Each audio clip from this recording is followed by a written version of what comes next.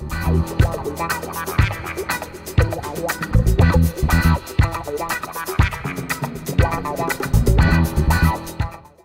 De volta com as competências do Tribunal Pleno, de volta com o regimento interno do TRT da 23ª Região, tá? Atenção aqui agora, ó, com o inciso 28. O inciso 28 é importantíssimo, uma questão recorrente em termos de concurso, se bem que nós já estudamos parte dela, tá? Então vejam só, compete ao Tribunal Pleno, podem marcar apreciar em grau de recurso as penalidades aplicadas pelo presidente do tribunal, corregedor e diretor-geral. Um, dois, três, quatro asteriscos aí no artigo 34, inciso 28, tá? Eu já comentei isso com vocês com relação ao presidente. Afinal de contas, a gente já estudou o artigo 34, inciso 13. Olha só, compete ao Tribunal Pleno, inciso 13, processar e julgar recursos contra atos administrativos praticados pelo presidente. Peraí, quando o presidente pune um servidor do tribunal, eu não tenho um ato administrativo? Tudo bem, é um ato administrativo de natureza disciplinar, mas não é um ato administrativo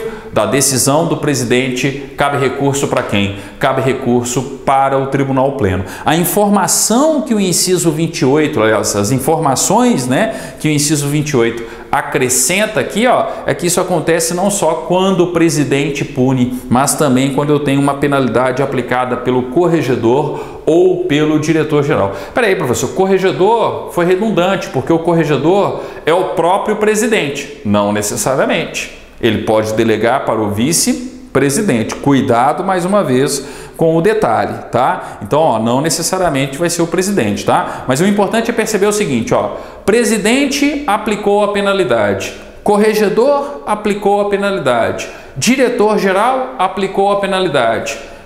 Competência de quem julgar o recurso, tá? Interpus o recurso ali, quem que vai julgar o recurso? Tribunal Pleno, tá? Podem marcar aí, questão importante. Ó, o 19, aliás, o 19, desculpe, o 29, o 30 e o 31, importantes também, porque tem correlação com o texto da Constituição, tem correlação com o artigo 93, né? Inciso 10 da Constituição Federal, todas as decisões disciplinares no âmbito do Poder Judiciário precisam ser tomadas por maioria absoluta. Isso com relação, gente, aos magistrados, tá? Que fique claro. Ah, um tribunal vai punir um magistrado eu tenho ali um processo administrativo disciplinar instaurado contra o magistrado, tá? A decisão precisa ser tomada por maioria absoluta dos membros. Aí quando a gente lê o 29, o 30 e o 31, a gente percebe que está de acordo com o regramento constitucional e não poderia ser diferente, né? Então vejam só, inciso 29, tá? Compete ao Tribunal Pleno determinar por maioria absoluta de seus membros tinha que ser por maioria absoluta, afinal de contas, eu estou falando de uma decisão disciplinar. A abertura de processo administrativo disciplinar contra magistrado, um PADMAG, né? Processo administrativo disciplinar contra magistrado. Então, ó, eu tenho a abertura. Para abrir, tem que ter autorização do Tribunal Pleno. Autorização por maioria absoluta, tá? Quem que vai propor a abertura? O corregedor. Quem que é o corregedor? Em regra, o presidente, mas aqui ó, ele está no exercício da função de corregedor. Tudo bem, ele pode delegar para o vice-presidente, a gente já viu isso. Mas o importante é lembrar da competência como um todo. Ó. Compete ao Tribunal Pleno determinar, por maioria absoluta de seus membros, a abertura de processo disciplinar contra magistrado proposta pelo corregedor regional, observadas as normas estabelecidas pelo Conselho Nacional de Justiça. Tá? Então que fique claro, ó, o, o corregedor pede, o corregedor propõe a instauração do processo administrativo disciplinar, aí vem o tribunal pleno e autoriza ou não. Para autorizar, qual é a maioria? Maioria absoluta, tá?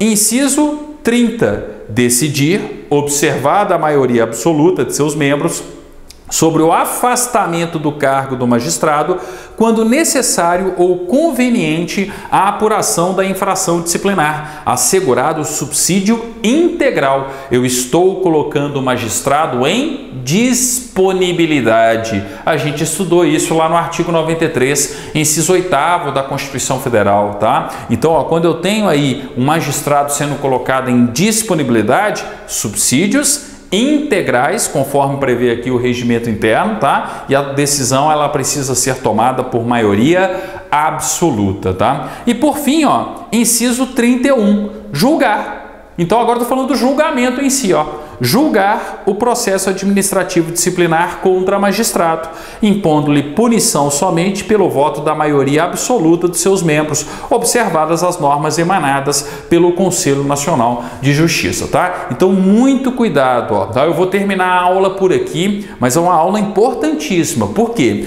no inciso 28, a gente viu a questão dos servidores, né? Então, eu tenho uma punição, uma penalidade disciplinar aplicada contra um servidor, e ela foi aplicada ou pelo presidente, ou pelo corregedor, ou pelo diretor-geral. Da decisão cabe recurso para quem? Para o tribunal pleno, tá? E depois a gente viu um processo administrativo disciplinar contra magistrado, tá? Para instaurar, o presidente propõe, né, o corregedor, melhor dizendo, que não necessariamente vai ser o presidente, né, mas o corregedor propõe, o tribunal pleno instaura por decisão da maioria absoluta e aí vai decidir se afasta ou não o juiz para decidir se afasta ou não. Também maioria absoluta e por fim eu vou ter o julgamento também por maioria absoluta, com a consequente aplicação da penalidade respectiva, a penalidade disciplinar prevista para aquela situação, tá? Então, cuidado aí, são pontos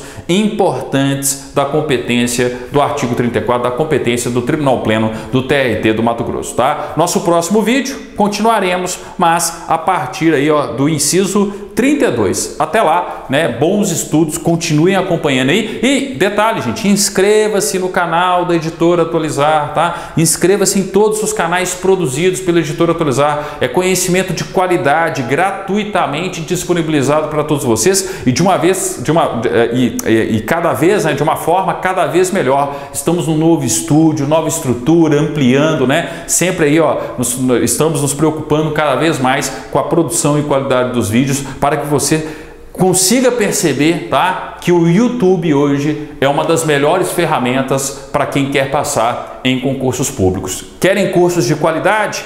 Assistam às nossas aulas Inscreva-se nos nossos canais, tá? Ajude a editora a atualizar, ajude todos nós, não só a mim, mas os outros professores, tá? Ajude a toda a nossa equipe aí, ó, a conquistar cada vez mais inscritos, cada vez mais visualizações. Afinal de contas, é a publicidade atrelada aos canais, tá? Que financia todo esse nosso projeto, ok? Obrigado, até o nosso próximo encontro, então, falando aí das competências do Tribunal Pleno a partir do inciso 32. Bye.